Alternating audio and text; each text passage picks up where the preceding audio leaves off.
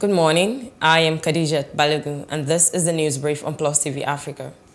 The Lagos State government has commenced an enforcement of its ban on commercial motorcycles, also known as Okada, in six local governments. The local government include Ikeja, Surulere, Etiosa, Lagos Mainland, Lagos Island, and Apapa.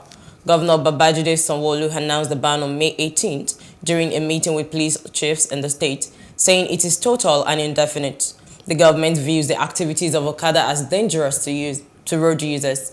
The State Police Commissioner Abiodun Alabi has described most Okada riders as criminals who must be taken off the road.